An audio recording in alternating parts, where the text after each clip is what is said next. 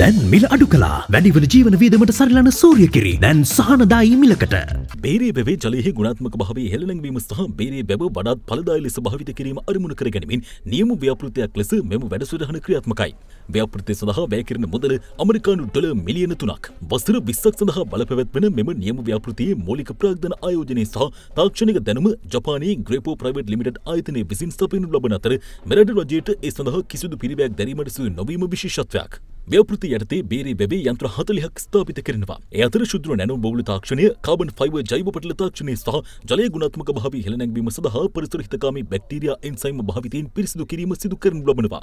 මේ ජලය පිරිසිදු කිරීමෙන් අනතුරුව පානීය ජලය බවට පරිවර්තනය කිරීමේ වැඩසටහන් ඒ වගේම මේ බේරේ වැවක් එක්ක සංවර්ධනය වෙන ආර්ථිකයක් හදාගන්න පුළුවන් නම් ඒක මම හිතනවා අද මේසිය වශයෙන් අනිකුත් රටවල් වලට සාපේක්ෂව අපි ගන්න දූරදර්ශී ක්‍රියාමාර්ගයක්. මේ පර්යේෂණවල ප්‍රතිඵල අනුව අත්දැකීමෙන් කියනවා මාසයක් ඇතුළත මේකේ ගඳ නැති වෙනවා.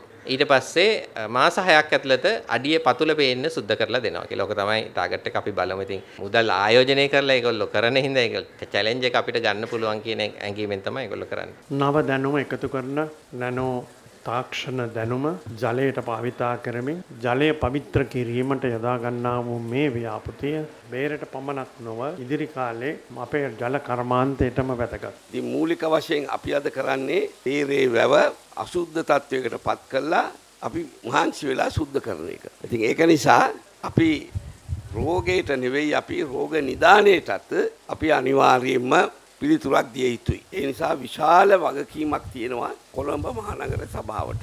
කොළඹ මහනගර සභාවේ වියහියදන් නිසි ලෙස මං හිතනවා අපේ කොමසාරිස්තුමිය කළමනාකරණය කරගත්තොත් එක මාස 6ක අනවශ්‍ය වියදම් කපා දැම්මොත් මේ මලනාලිකා පද්ධතිය සකස් කිරීම සඳහා අවශ්‍ය මුදල් හොයාගන්න පුළුවන්.